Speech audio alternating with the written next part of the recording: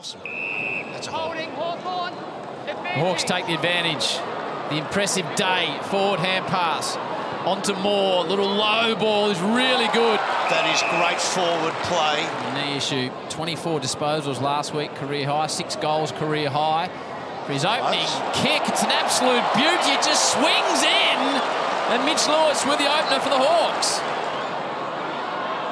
McKenzie, Meek, back to McKenzie. This is good for the Hawks on the outer side. Slight fumble. There's options forward. And one of them is Breust, who's had one shot already today. Wasn't able to kick a goal, but you'd fancy. Luke Breust plays on. And as you would expect, Breust kicks his first for the afternoon. So go the way of Newcombe. Rossi Lyons straight away, he's got Mason Wood against James Sicily now, so he'll try and drag him forward away from that intercept position. Breust is out the back. That's danger against any team. Look at this man on the left, Lukey Breust. Wow. That's what he can do. Top shelf, Breust to 498.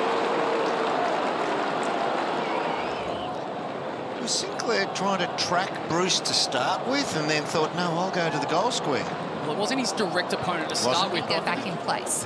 Thank you to Sarah Jones alongside Dermot Brereton and Nick Dal Santo. Fox Footy Saturday afternoon on a big day coming your way all day and all night. Worpel Gee, drives it forward. Lewis is in front position.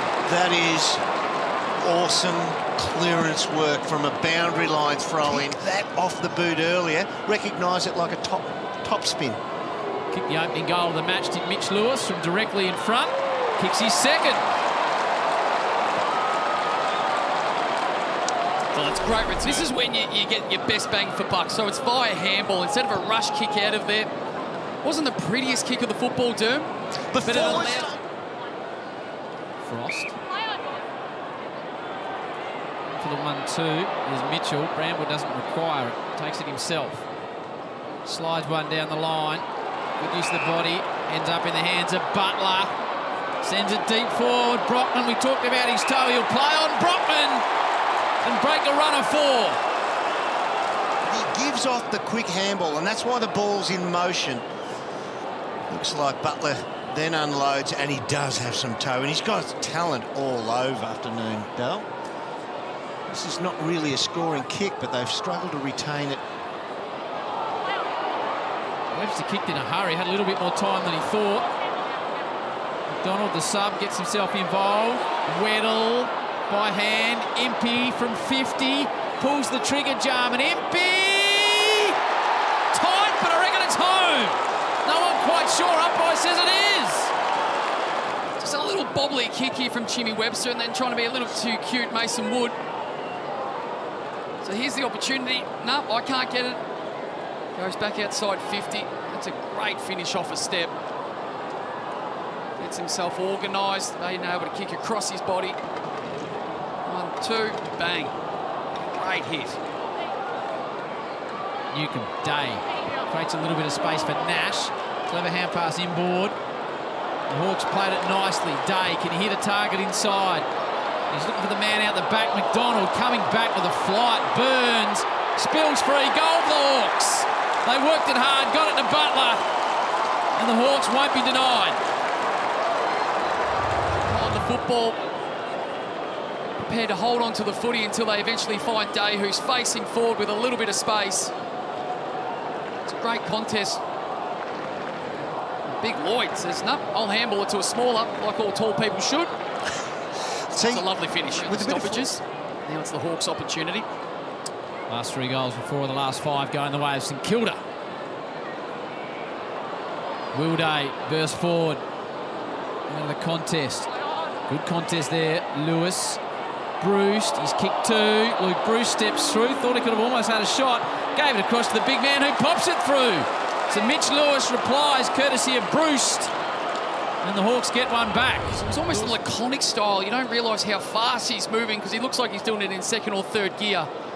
So there's the initial give, and then he's gone. Brad Crouch can't touch him.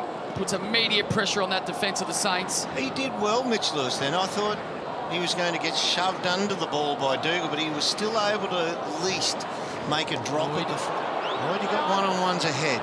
Use them. More Nash. Look at the size of the man. He just shrugs off Webster. Ran into a block of granite. Sends it to McDonald. Good grab. Good grab now. Things are tightening up. Well, they could, could they? And then you've got to stop and reload. But the size of the man, the encroaching player bounces off him and to ground. Around the Dandenong Stingrays, McDonald pops it home. And now it gets really tight on the scoreboard. Now, this watch this kick here. Conor Nash, Webster, most blokes knock the marking player to ground and then you have to reload. There's an extra three seconds on the play. But because he's so big, he... Dangerous position for the Saints. The ball hits turf. Burns, important kick out of defence. Ah, Jarman, Imp is in best position. A lot of players ahead of the footy. The leads come. The big boys want it deep. He sees something in the pocket. It's a perfectly weighted kick. Moore does play on. Here's a big finish.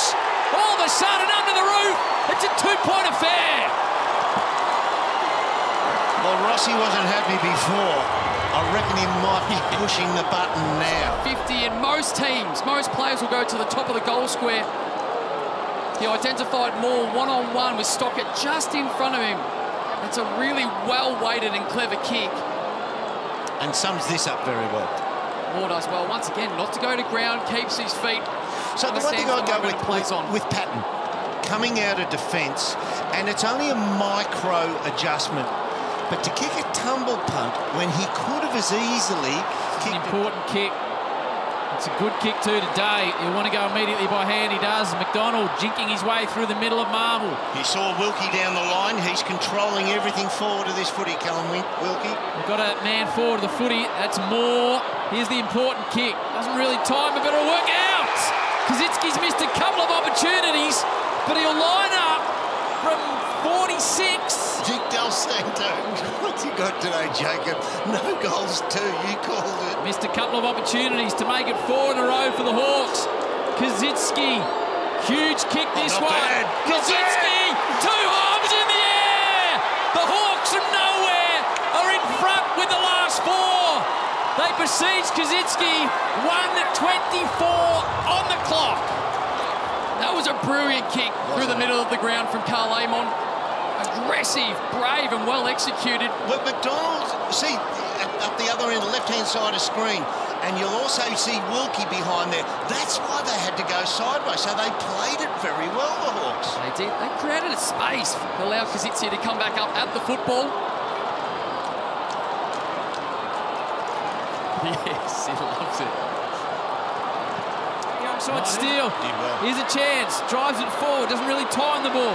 Sicily repels yet another attacking thrust. More from players on both sides. That is Stocker.